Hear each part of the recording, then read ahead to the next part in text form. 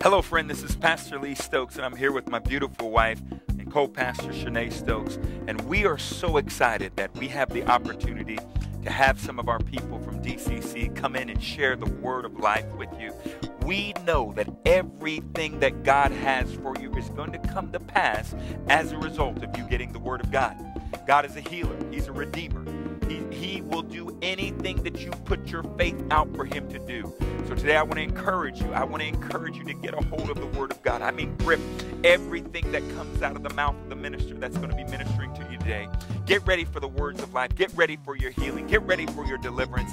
Get ready for salvation. Jesus loves you. We love you right here at DCC. God bless you.